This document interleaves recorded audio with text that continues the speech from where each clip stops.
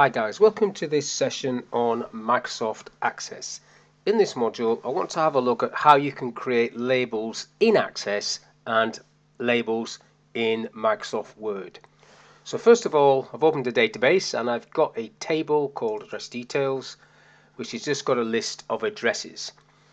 Now, if I close that, in Access, you've got a feature, a report that you can create uh, where it generates labels based on whichever table you want it to look at. So in this case, this table. So I've got that one selected and then I go to the Create tab and in the Reports area you can see there labels. I'll click that.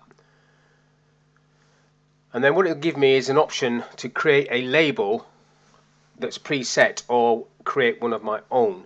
So I am going to use this top one. In fact, I'm going to use that one but if I look at customize for a second, you can click on new and then you've got all of this functionality to create a label for yourself. Now in my and then name that label. Now in my experience, one of the issues you've got if you buy labels pre pre-printed labels or labels that you pull off at the sticky backed, sometimes it's quite hard if you don't get set options like these, preset options. These are Avery and these are all the other types you can get so if you go to a shop that's um, not listing these and they've got their own make, it's quite hard to determine what size they are. So you might want to just recreate a copy of that using customize and then you can achieve your aim. But I'm just going to use this one. I'm going to go next. It tells me what the font and I can change all this if I, all of this if I don't want. I'm going to go next again.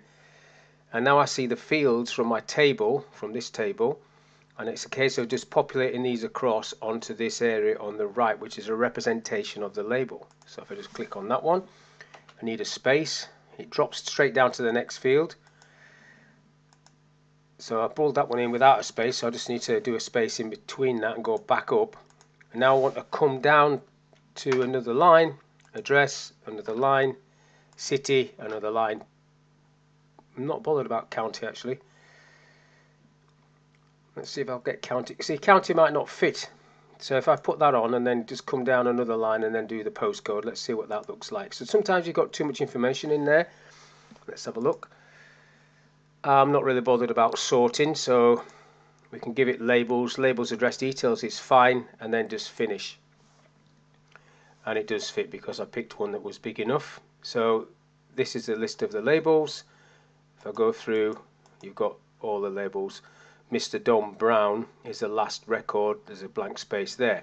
So if I close these labels and add a new record in my table, so let's say 16 Mrs. Kath Green 25 Red Road Bradford West Yorkshire BD22RT and then just smack up a phone number 01274 whatever and then today's date. So I've added a new record that will now be picked up in the labels. If I close that, so Kath Green, open up the labels, go to print preview and then it should be on the last sheet and there you go Miss Kath Green 25 Red Road.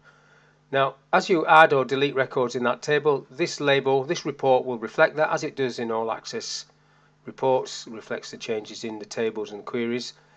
So that's now just set. If I close that. Now the other way of doing this would be to send this into Word and use Word's functionality to create labels. So in this option you've got to go external data and then you've got word merge. You click on that you've got two options here. Link your data to an existing word document or create a new one. I'm going to do this new one. Okay to that. That should open up word. Now once word opens if I bring word onto the screen I'll just make it full screen so you can see. It's got this pane on the right with the wizard options for you to select and I want labels as I said already labels and then you've got these arrows down the bottom start um, moving through. So starting the document. So we've got label options here. And again you get the same sort of list coming up where you can select different sort of labels. So this is if I go to details on that let's have a look. So you've got three across six down I'm going to try and get this to fit but again you might have to play around with this if you're not quite sure.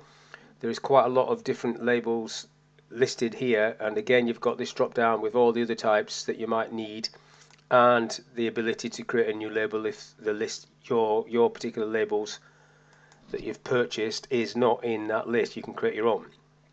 But let's just go for this one. Let's see what happens. Clicking OK. Alright so it's looking alright looks quite big now what you've got at the top there if I go to edit recipient list that's the list that's come from Access so I've already got the details. And I want the address block to go in there which is like that. That'll do okay.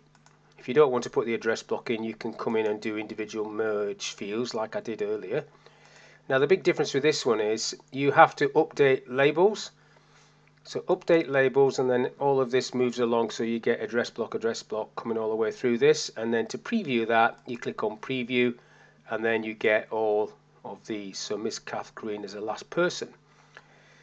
Now I'm going to save this, just going to save this document and um, add a new record to the database. So if I save that, I'll just leave it in documents and I'll call it main labels, labels, save, and then I'll close that down, close that down and then go back to access and open that again and add another person. So this is our record number 17 so go for Mr. Brian Jones, 1 Black Street, Leeds.